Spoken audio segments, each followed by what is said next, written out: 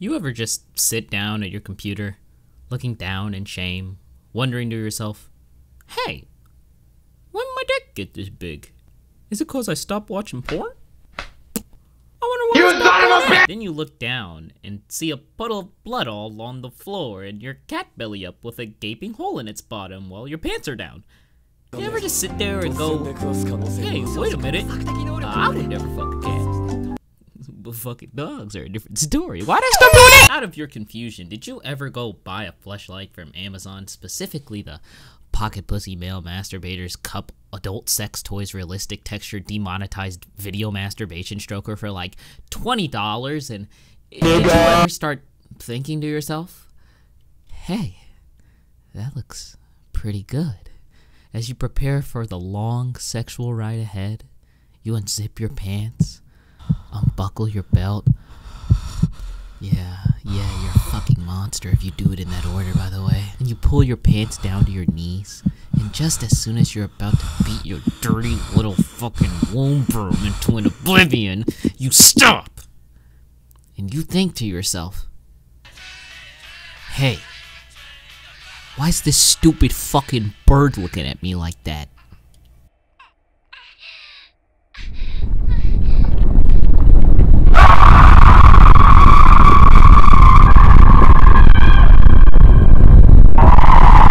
Oh wait, that's food, food. Hey, what's Poo Poo getting an anime adaptation? You know what I'm saying? When they go like, wait, wait, Oh, wait. Wait, anime? I stopped watching anime, didn't I? Uh, Why'd I do that? MILF Sekai. That's the answer. MILF Sekai. MILF Sekai. MILF Sekai. Ah. That's why I stopped doing that.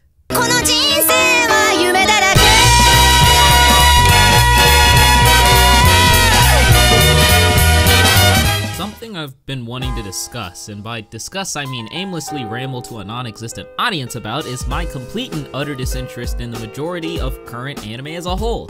Some of you may be thinking, wait a fucking minute, I get that you're salty and a fucking hipster, but not even you are dumb enough to question the complexity and absurd surplus amount hmm. of modern day uh-huh. classics that began in the winter up to this point, which showcase the uh-huh. medium's ability to evolve with times alongside a constant addiction to subversion of the now popular but once recondite isekai genre Hey, that has spawned a look. massive amount of anime look. fans, which Hey, bolsters the hey, culture you know and increases revenue for not only creators in Japan but also the American uh-huh. populace, as uh-huh. Crunchyroll is owned Yeah, by. I watched three of these all a year. I like this one. And this one's pretty cool too. Now, any reasonable person, and when I say that I am implying that by not thinking this way you are indeed being unreasonable, would probably question if you've only really watched and liked two anime out of about 150 all year, then why the hell are you making a video about anime? Why do you even bother talking about the medium? Are, you, you lonely? Why, yes, I am lonely, which probably explains my chronic masturbation problem. everything is okay. Your clitoris won't fall off. But why am I making a video about anime if I've been so unimpressed by it in recent times? That's a very good question, to which my answer is the main point of this video. Boom!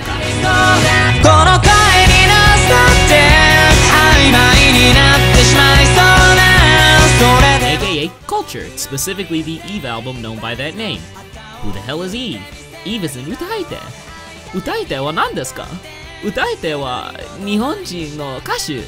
They typically covered over Vocaloid songs, but at this point, Eve basically creates all of his own music and doesn't really fall into that category much anymore, which I'm completely okay with, you know, because most of his compositions are usually better than anyone he could bother covering anyways, but that's besides the point. The connection of these Utaites to Vocaloid and Miku, Japan's digital J-pop mascot who has taken many forms as the embodiment of Japanese pop culture, is heavily associated with anime. Consequently, songs by these Utaite, Vocaloid or not, are almost always connected to anime imagery or oftentimes just flat out anime themselves. So, while I can't bring myself to watch and care about a studio produced 12 episode school slice of life or a 24 episode shonen, I've very easily spent hours upon hours analyzing music videos from the composition of the songs to more relevant to this video, analyzing the use of anime imagery in them. Music videos, despite their extremely short length in most cases, can pack so much damn thematic substance that I never find myself getting bored of them. And their personal connection invoked by the singer, giving life to these characters via melody and sharp literary devices, results in an immersion that, more often than not, leaves me questioning my general perspective on life. These songs and videos make me question the people I meet and judgments I make about them. I question ideas of perseverance depicted far more viscerally and emotionally raw than any Boku no Hero episode or movie could ever wish to. I begin to understand dealing with loss, grief, depression, and man, has that last one specifically been a mainstay throughout my life. I find that oftentimes I've found hope in not just life but anime as well through an audio based medium that only initially intended on using its anime connections for the sake of very simple visualizations, cover art, or profit. But the more I watch these music videos, the more I feel I learn about the world and myself. The more I watch, the more I become intertwined with the worlds they create and the characters they introduce me to. The more I watch, the more I realize my literal view of the world, what I actually see, is seen by someone other than myself. And while pragmatically that doesn't really do much for me, I sense that it puts my subconscious and hypercynical personality at ease. Somebody else can perceive the sun's beams as this sharp, dark, draining, depressing cloud over their heads on their everyday walk to work, the gym, school, etc. Someone else understands that cloud is perceived by most people as a beautiful embodiment of energy in a social life. They revel and make their connections under it in true happiness, and that's something I'd never have and probably never will truthfully understand. Someone else understands the draining nature of inauthentically dealing with others in everyday interactions, and they feel the fatigue and the large sensation of emotional hollowness it leaves you with, the apathy it leaves you with to everyone. Someone else has experienced this feeling of living in a place that lacks ambition and a lust for knowledge, a place that's entirely too complacent in their good living and their current outlook on the world.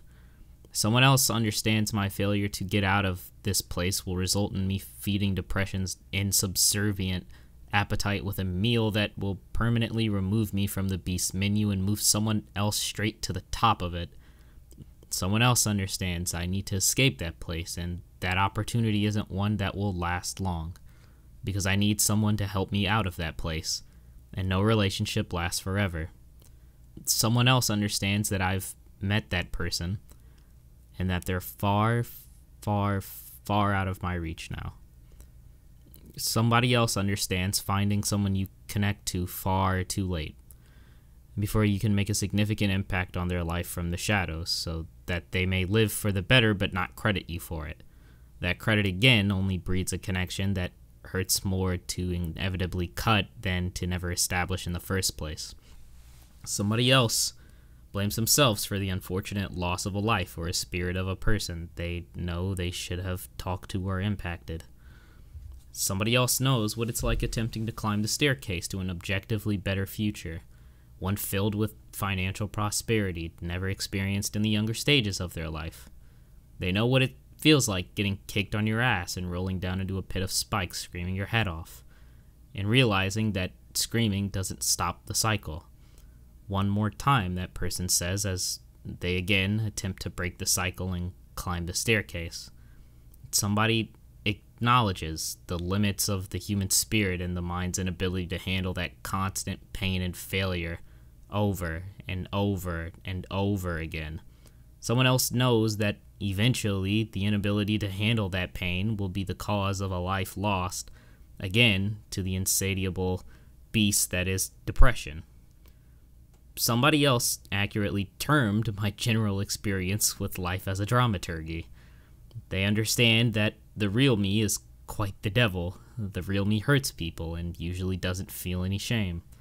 The real me is an indecisive hypocrite who claims they aim to be a savior of the people and one everyone can look up to and befriend, and that same me proceeds to wear a mask and go about manipulating people in situations to my benefit.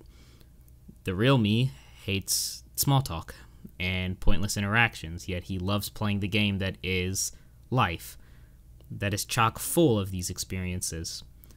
The real me doesn't care about being accepted by the masses or considering the feelings of others, yet he feels truthfully in pain when he hurts someone, someone that's close to him, and that have done nothing to spite him. The real me is a fucking weirdo. the real me is psychotic. He's a hypocrite, he's sociopathic, he's often apathetic, emotionless, sleep deprived, narcissistic, uber cynical, hypercritical, inconsiderate, and authentic, and far too intuitive and observant. And yet, the same person that knows all of this, that has termed all of this, has also showed me that all of my perceived flaws are okay. And I should accept them and myself, instead of living in this constant state of self loathing and confusion about what general type of person I should be, scared to take the wrong role and go on the stage flopping around, trying to find my footing. Maybe I should just walk like the monster I am, and face the audience that is everyone else.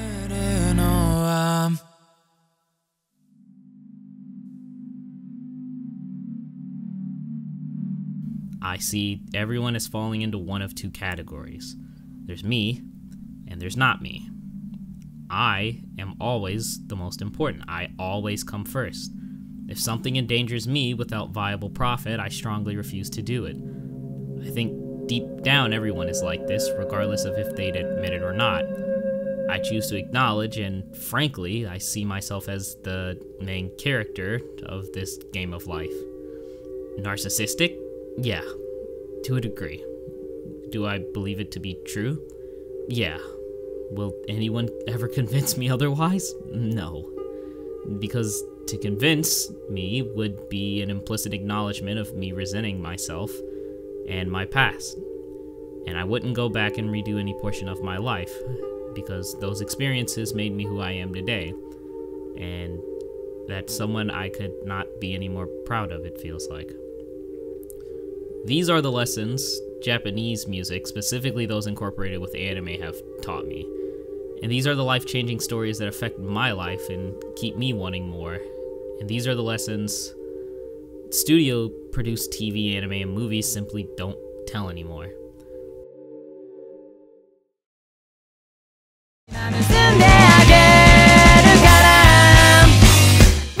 I stopped watching anime because I feel like it's stopped growing with me. And as long as that's the case, I'll keep my one show a season and be the salty little shit I've always claimed to be. I think the music industry as a whole, specifically Eve, Kiami, wowaka, rest in peace, uh, Jin, Sou, Shinaringo, Nakamura Emi, and so many more that have influenced me to accept who I am today. And I think music for being with me when the anime industry isn't. And I think music ultimately saving me from depression's beastly appetite for more than 19 years.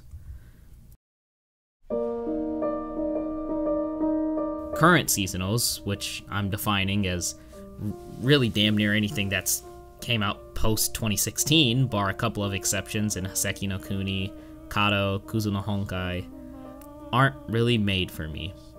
I hear people around me at school being satisfied and indulging in the pool of seasonals day after day, but the anime and stories I wish to hear simply aren't told anymore. Productions like Aku no Hana, which focus on complacency and a psychotic look at sexual deviance with a horrifyingly realistic sense of timing and atmosphere, is a once in a lifetime experience. Kato exposing me to the flaws of my own god complex by means of philosophy and emotional depictions of the consequences of such personality traits is something I likely won't ever see again. A Hachi story, which I would argue I most related to during my high school days, and maybe still to this point, is one of social and psychological suicide for the success of a society and the ease of mind of a cynical, restless subconscious that can't cope with establishing and losing meaningful connection to others. Casshern taught me how to not accept death, but to appreciate its role in giving life itself meaning. Punpun is maybe, horrifyingly enough, the closest I've ever felt to any work of fiction. The depiction of depression, the psychotic, murderous thoughts, having a female and a guiding angel very early on in life that I suddenly, without my control, just kind of lost connection to, and it's something I still kind of can't move on from. And even the damn image of Punpun, once he's nothing but a corrupted soul, heavily resembles a form of myself I've experienced in some life changing nightmares, where I'm just covered in tar looking down at my body, screaming as I feel as if my body's on fire.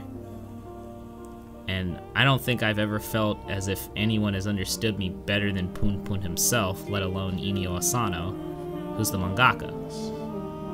These largely psychotic, antisocial, flawed, and crude stories and characters aren't what modern anime has been providing. The medium is not set up for me to learn, and that truly disappoints me. And so I turn to All Faithful, music, to teach me what I wish to know, and to put me further in tune with my psyche. And I really hope that soon, one day, anime may once again also help me in my pursuit for knowledge and psychological peace. This is Suti Tooti.